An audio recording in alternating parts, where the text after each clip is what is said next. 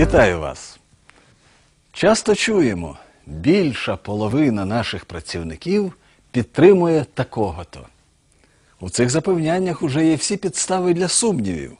Бо що таке більша половина? Такого просто бути не може.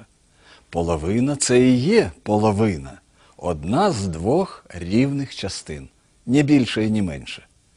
Отже, як сказати правильно?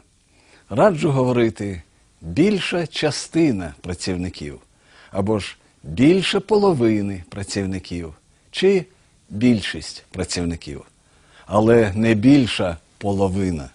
Запам'ятайте, так буде українською.